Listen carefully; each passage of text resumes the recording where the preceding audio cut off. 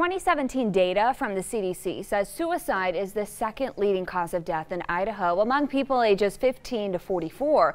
But the sad journey of the surviving loved ones of those who have died can be an isolating and confusing one. As 6 on your side's Madeline White reports survivors are paving the way for others with more resources in Idaho.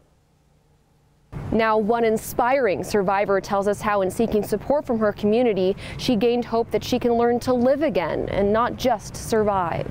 She had the most warm, completely embodying hug. And that was her signature. It's been five years since Carmen Stanger Barney experienced the unthinkable. Nobody ever thinks that. You think to yourself as a parent, what would I ever do if this happened to me? And this happens to other people. It won't happen to me. When she lost her 15 year old daughter, Maddie, to suicide, it was an absolute and complete shock.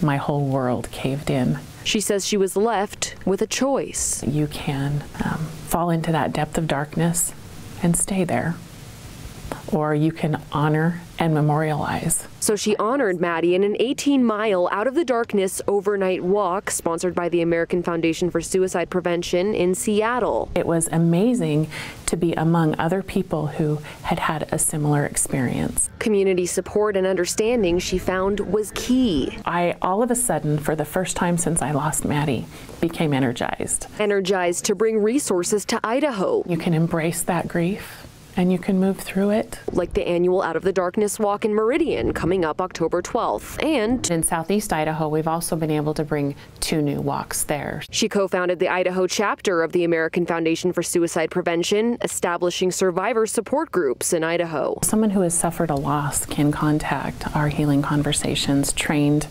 um, survivors and they will be able to help somebody walk through the initial shock. So, with her daughter's ashes and a photo book of memories she says she takes with her everywhere she goes, always a smile. Carmen says she pushes forward with the strength Maddie's memory gives her to save lives and support all loved ones. I believe that when I see her again, um, it will be a beautiful reunion and that she will wrap her arms around me and give me that hug that she's so famous for.